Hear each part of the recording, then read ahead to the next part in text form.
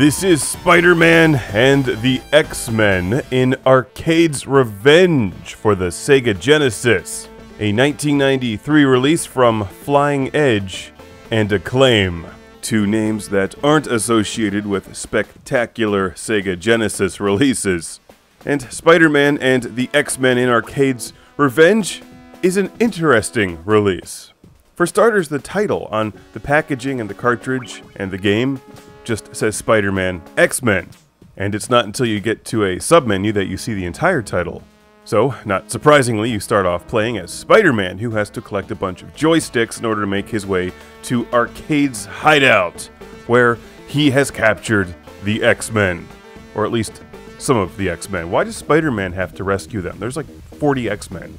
You'd think he would just get on a payphone or a rotary dial telephone or cell phone the size of a small car and call Professor X to send over Beast and Colossus, but he doesn't. Instead, you end up playing as Spider Man, Wolverine, Storm, Gambit, and Cyclops through Arcade's bizarre fantasy realm or something.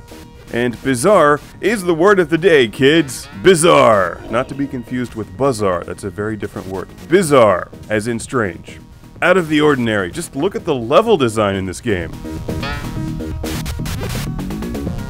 Now, to Spider Man and the X Men Arcade's Revenge's credit, that's a weird title. This does have excellent controls. It's an extremely playable 2D platformer. Each of the X Men and Spider Man have their own attacks and two levels apiece, which they must complete in your own order. And each of them look like little short stunted collectible versions of the X Men, don't they? They're adorable.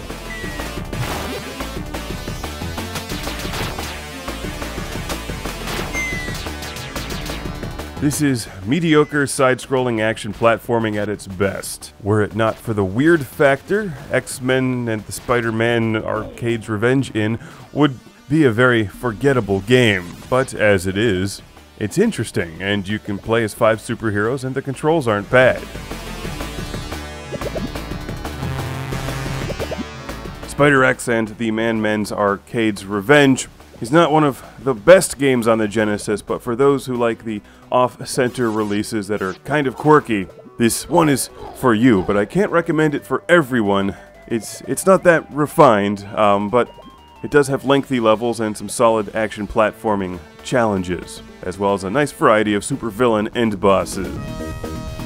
Let's take a look at Gambit's stage, which is one of the weirdest of all. It's like they had five different games and just decided at the last minute to tape them all together.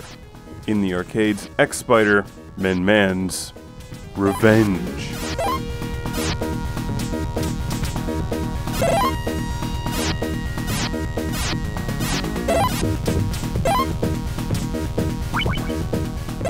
Kept getting distracted in this level trying to figure out what the background is. It's like skulls and Roman denarii or something. Did they have this left over from an Aliens game they didn't finish?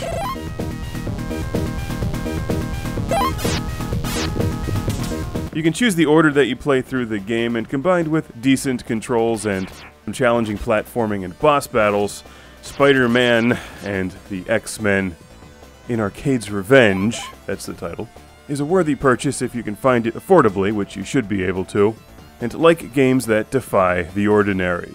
A big thanks to our friend Evrado from Houston, Texas for donating this game to the show.